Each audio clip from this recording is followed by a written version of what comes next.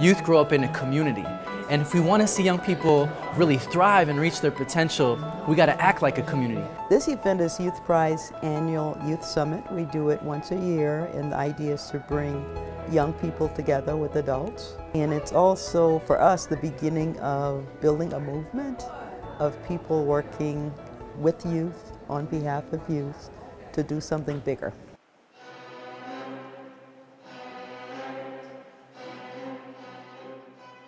One workshop is called The Art of Conducting and is really showing how the orchestra works.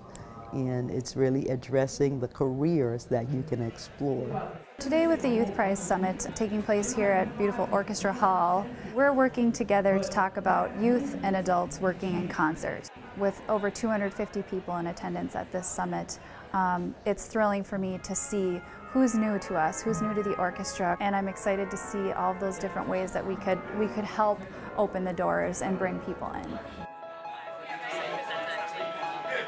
So the breakout sessions is really looking at the complexity of bringing two pieces that are different to make a complete whole.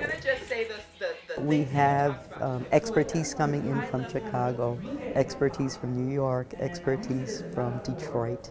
You know, so there's this opportunity for four different strong urban communities to really learn from each other and to stay in touch with each other.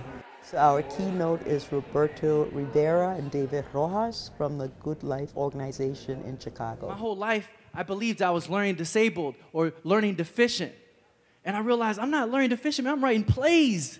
I'm putting together these festivals. I learned differently. And so I started applying that to school. You know, there's a passing of the baton going on.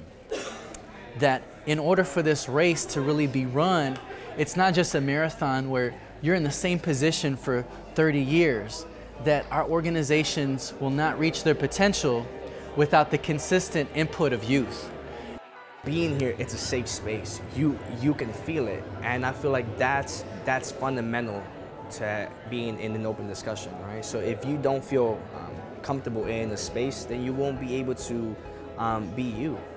And that's exactly what we want in in in this type of environment. We want you to be you. I was invited to be on a panel today about um, different careers in the arts.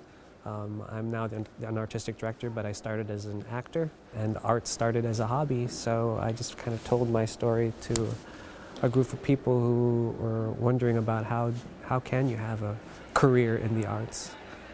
I think the Youth Summit is important to in, inspire youth to follow their path, to find their most authentic voice, and to, to be supported by um, folks who have a connection to the past and have learned from experience. But not to really set the path for them, but to inspire them to find their own journey and their own path.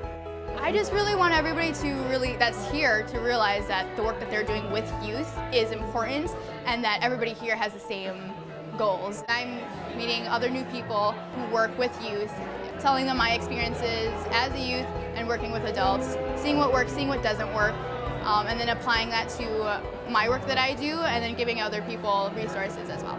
That interaction um, has potential growth for everybody who's involved, not only the student but also the person who's talking to them and there's so much to gain from young people and the energy and the passion that they bring into it. Our vision for the summit is that it's the start of something and not the end of something.